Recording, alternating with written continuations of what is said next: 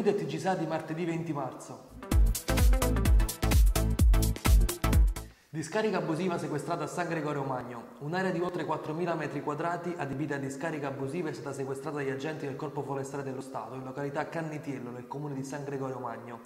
Nel corso di controlli specifici, gli agenti della stazione di Buccino hanno scoperto lo sversatoio dove erano già stati depositati oltre 600 metri cubi di rifiuti urbani di varia natura e provenienza. Nocera Superiore, sequestrati prodotti contraffatti e privi del marchio CE, un denunciato. La Guardia di Finanza di Scafati ha sequestrato in un'attività commerciale gestita da un cittadino di origine cinese 350 prodotti recanti loghi, marchi e personaggi di noti cartoni animati contraffatti. Il titolare dell'impresa è stato deferito all'autorità giudiziaria e dovrà pagare una multa di 6.000 euro. Nigeriano perde la testa a Sanza, calcio e pugni ai carabinieri, arrestato. Per un diverbio ML di 21 anni ha colpito ripetutamente un suo connazionale con una bottiglia di vetro. Intervenuti i carabinieri l'uomo si è scagliato contro di loro a calci e pugni. Castellabate, Villa Matarazzo, mercoledì verrà abbattuto il muro di recinzione. Mercoledì alle 10 prenderanno il via i lavori di manutenzione straordinaria e riqualificazione del tratto finale del muro di recinzione di Villa Matarazzo.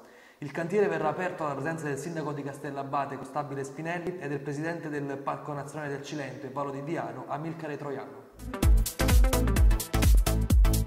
Salerno ancora protagonista sulle reti televisive nazionali. Mercoledì la trasmissione di Retri Buongiorno Regione, in onda a partire dalle ore 7.30 e il TG1 del mattino alle ore 8 dedicheranno servizi sulle nuove iniziative avviate dal Comune di Salerno, al fine di offrire nuovi servizi per i neonati e le famiglie. In diretta dall'asilo Nido Buonocore ci sarà il sindaco di Salerno Vincenzo De Luca. Protocollo anti-erosione, la soddisfazione di Cariello. In qualità di rappresentante del territorio e di coordinatore del tavolo istituzionale, ringrazio il governatore della regione Campania Stefano Caldoro, l'assessore regionale all'ambiente Giovanni Romano e il presidente della provincia di Salerno Edmondo Cirielli per aver dato una seria prospettiva di rilancio turistico ed economico alla costa del Sele. Così ha detto il presidente della commissione provinciale politiche del lavoro Massimo Cariello. Kung Fu, anche un atleta di Baronissi nella nazionale impegnata a Tallinn. Ennesimo riconoscimento per l'atleta di Baronissi Michele Giordano, che aumenta il suo già ricco medagliere con l'importante riconoscimento delle medaglie d'argento al valore atletico da parte del presidente nazionale del CONI Gianni Petrucci.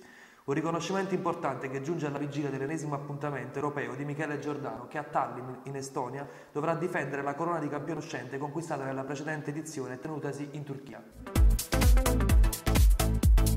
Judo, quinto posto per l'atleta di Montecagnano Emanuele Magazzeno alla European Cadet Cup. Ottimo piazzamento dell'atleta Emanuele Magazzeno alla competizione di judo European Cadet Cup che si è svolta nei giorni scorsi a Zagabria, in Croazia. Il giovane, che si è classificato al quinto posto nella categoria più 90, ha rappresentato la città di Montecagnano, Faiano, indossando sul braccio lo stemma del comune. 10 sera insieme con il teatro.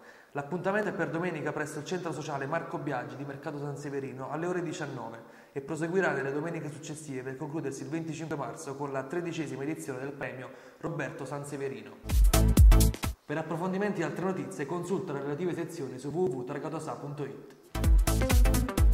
thank you